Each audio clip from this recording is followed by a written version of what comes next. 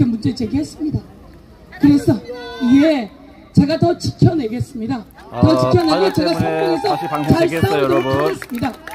이번에는 경찰을 장악하기 위해서 윤석열 정부에서 아, 지금 경찰 장악하기 위해 행안부에다 경찰 여기 오셔서. 연설하시는 분은 네. 저희가 검찰 정상화를 하면서 의원이자 검찰은 네, 기소하고 국회의원, 경찰은 수사해. 네. 경찰이 수사하고 이재명 의원님의 검찰은 친구, 네, 수사에 서영교 끼지 마. 의원님의 여기 이렇게 해서 일정 부분 검찰 정상화법을 통과시켰더니 도중에 이렇게 경찰을 방송이 더 꺼진 겁니다. 그래서 경찰 국을 설치하려고 하는데 이거는 과거 30년 전 군부 독재로 돌리는 겁니다. 제가 더불어민주당의 윤석열 정부 경찰 장악 저지 대책단 단장을 맡고 있습니다. 제가 잘 선봉해서 싸우고 있으니 여러분 힘을 좀 주십시오. 힘이 주어지고 국민이 지지해야 국민은 지금 저희를 지지하고 있는데 그래도 저들이 막무가내입니다. 시행령을 고쳐서 갈 것 같습니다. 시행령을 고쳐서 가면 정부조직법 위반입니다. 정부조직법 위반이면 행안부 장관은 탄핵의 대상이 됩니다.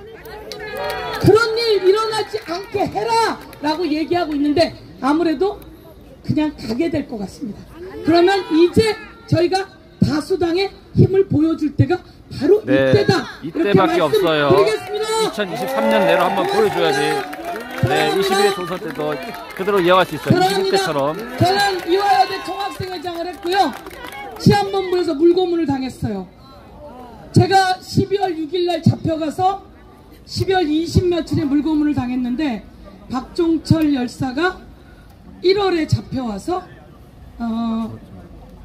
직후에 물고문 당하고 세상을 떠났어요. 사실 저도 죽는 줄 알았습니다. 근데 저는 운이 좋게 살았고요. 박종철 열사는 세상을 떠난 거죠. 그랬던 치안본부를 또 만들겠대요. 제가 행안위원장인데. 아, 결사 반대입니다. 행안위 앞에서 이건 네, 상극을 제가 벌이는 짓입니다. 현재는 행안위원장은 안 돼. 어, 네, 그만 네, 뒀지만 어서 오세요. 감사합니다. 저희가 대책단 만들어서 잘 싸워서 더 이상 네, 민주주의를 경찰은 경찰답게 해야 됩니다. 마구잡이로 정치 보복하는 정치 경찰 압수수색, 절대 정- 없어야 됩니다. 경찰 수사 그리고 검찰 수사 제대로 막아낼 수 있도록 선봉에 서 보겠습니다. 고맙습니다. 그리고 저는 이번에 최고위원 후보에 출마하기로 마음을 먹었습니다.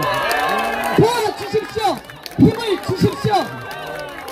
삼성들이 아, 모여서 80 년대 나가주라라고 이야기했습니다. 어, 많은 분들이 때 나가주라라고 어, 얘기했습니다. 제가 한번 죽다 살다 온 힘껏 정도의 용기인데 싸워서 그 살아서 승리를 승리하는 모습을 어, 보였으면 합니다. 만들어서 여러분께 가져다 드리겠습니다.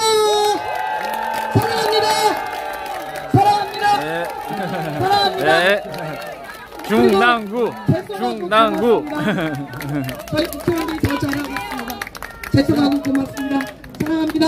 네, 수고하셨습니다. 서영교 의원이었습니다. 박수 한번 부탁드립니다.